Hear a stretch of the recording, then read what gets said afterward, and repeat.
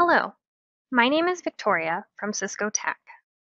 In this video, we're going to show you the process to enable SIP path headers on the expressway. When enabling SIP path headers, the Expressway C adds its address into the path header without rewriting the contact header in SIP register messages.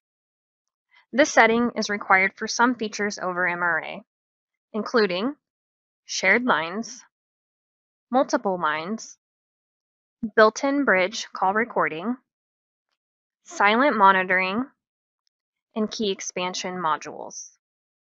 Before enabling this configuration, your Unified CM version must be 11.5.1 SU3 or later, though we recommend at least SU4.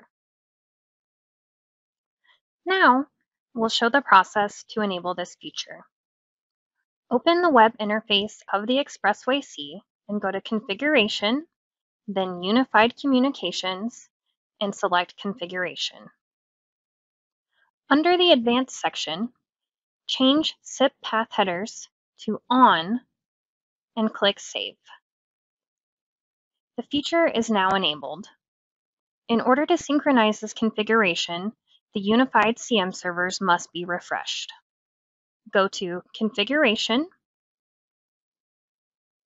and then Unified Communications, and select Unified CM Servers.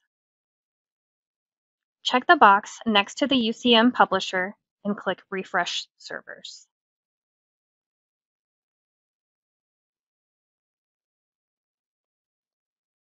Thank you for viewing this video.